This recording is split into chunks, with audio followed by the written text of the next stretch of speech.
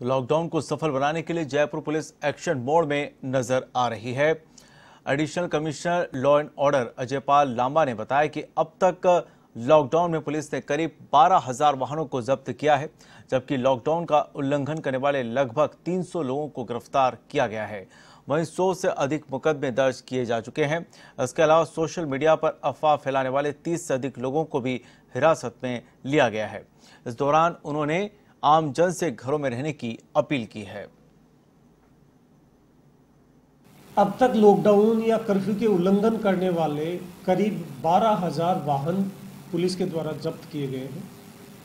Lockdown का उल्लंघन करने वाले करीब 300 लोगों को गिरफ़्तार किया गया है। सौ से ज़्यादा प्रकरण दर्ज किए गए हैं। और ये कार्रवाई हमारी लगातार जारी रहेगी, चाहे वो लॉकडाउन या कर्फ्यू के उल्लंघन करने वालों की बात हो, या सोशल मीडिया पे कोई भ्रामक जानकारी, भ्रामक मिथ्या तथ्य फैलाने वालों की बात हो, उनके खिलाफ